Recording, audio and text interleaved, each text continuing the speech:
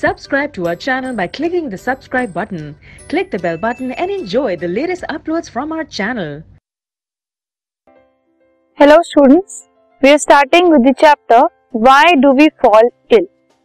इस चैप्टर में जो चीज़ें हम पढ़ेंगे वो है सबसे पहले व्हाट इज़ हेल्थ हेल्थ क्या होती है what is disease health and its failure health actual में क्या है और उसके फेलियर से क्या होता है और क्यों उसका फेलियर होता है?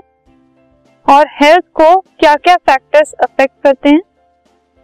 हेल्दी होने में और डिज़ीज़ फ्री होने में क्या डिफरेंस है? उसके बाद हम देखेंगे कि modes of transmission of diseases क्या है?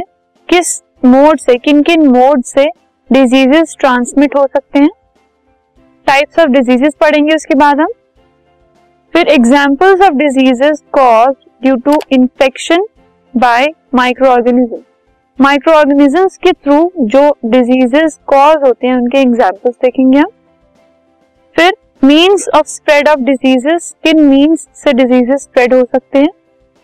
उसके बाद organ specific and tissue specific manifestation पढ़ेंगे हम। और लास्ट में प्रिंसिपल्स ऑफ़ ट्रीटमेंट्स